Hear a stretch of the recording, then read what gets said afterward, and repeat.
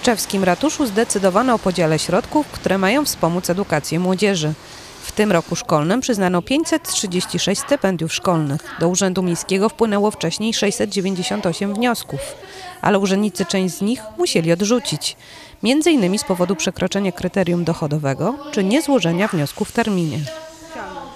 E, Stypendia socjalne adresowane są do uczniów pochodzących z rodzin o niskich dochodach.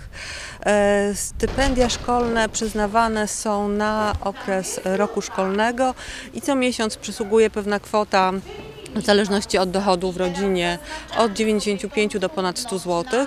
E, Te środki mogą być wykorzystane na różnego rodzaju wydatki związane z edukacją szkolną, od podręczników, książek popularnonaukowych, po na przykład e, strój na WF, czy wyjścia do teatru, wyjścia na basen ze szkołą, wycieczki szkolne. Ym, Także bardzo szeroki wachlarz takich właśnie e, wydatków związanych z edukacją. Urzędnicy rozdysponowali również środki przyznawane w ramach programu Wyprawka szkolna. Wyprawka szkolna to jest pomoc jednorazowa e, związana z zakupem podręczników e, szkolnych. W tym roku szkolnym ona jest adresowana do uczniów trzecich klas szkół podstawowych, e, czwartych klas techników oraz e, uczniów niepełnosprawnych. Tak, co roku jest porównywalna dosyć liczba e, chętnych ubiegających się o, tą, e, o ten rodzaj pomocy.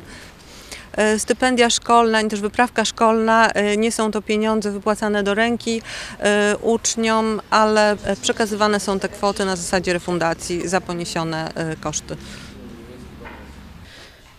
Stypendia socjalne i program Wyprawka szkolna to cykliczne przedsięwzięcia, które co roku cieszą się podobnym zainteresowaniem tczewian. W Tczewie funkcjonuje 7 szkół podstawowych podległych samorządowi miejskiemu, których uczy się ponad 4100 uczniów i 3 gimnazja z ponad 1500 uczniów.